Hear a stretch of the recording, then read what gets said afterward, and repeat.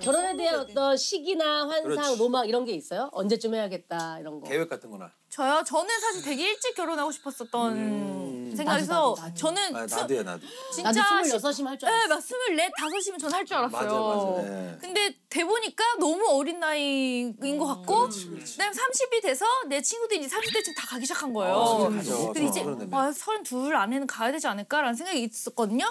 이제 34세, 5세 딱돼 지나니까 나이가 그렇게 많아. 서른다섯 네, 저 넘었어요? 36이에요. 진짜. 네. 근데 동안이가 와 대박. 네, 그래서 살처럼 보여. 나 어, 20대로 봤어. 나도 20대인 줄 알았어. 어, 그래서 약간 이제는 노, 노은 느낌도 그래서 약간 연애보다 축구가 더 좋아지기 시작했고 나한테 더 이게 행복감을 느끼는 거에 대해서 아니, 찾기 시작했던 거 같아요. 언제까지는 가겠다 이런 거 좀 이렇게 마지노선이 있어요?